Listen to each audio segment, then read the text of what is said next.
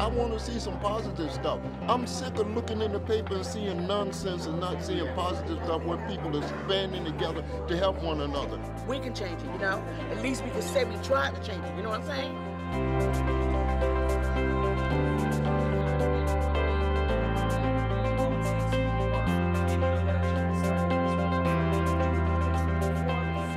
Newark has some of the best water in the state and in this area.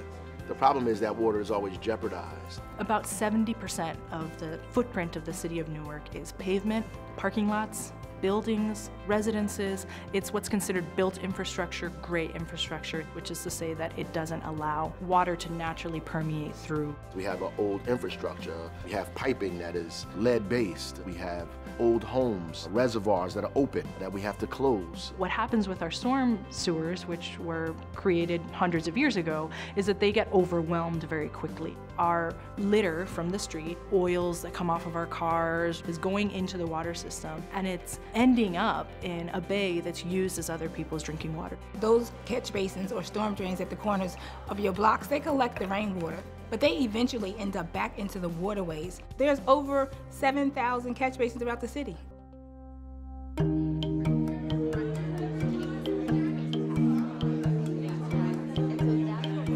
Newark DIG is a coalition. DIG stands for Doing Infrastructure Green.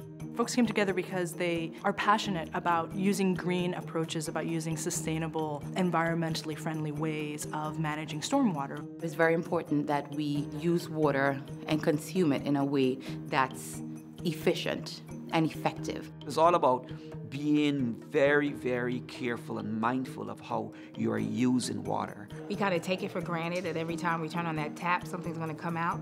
But if we don't take action now, one day we might turn on that tap and nothing may come out. Education is the key. Exposing people to understand how small actions can lead to a bigger impact. Do you really need to buy a bottle of water or can you use the recyclable bottle that you have at home? Every building has a downspout. You can place a rain barrel underneath there and harvest rainwater, which you can use to plant a garden and water that garden. Instead of creating an impervious driveway, why don't you put in a garden, a rain garden? Why don't you put in something green that can absorb a lot of the rainwater? And it'll be something that's also beautiful. Litter gets into our sewer systems, it clogs up our water supply. When you get done with a wrapper, put it in trash. When you get done chewing your gum, put it in trash. All these things at one point make their way to the water. The interesting thing about green infrastructure is that a lot of small changes have a big impact. We're inviting residents to receive free rain barrels and be part of the solution. We're also inviting folks to adopt catch basins and to sort of monitor the cleanliness of the catch basin. Another part of the program actually includes planting trees because they're, you know, the most ancient form of stormwater management.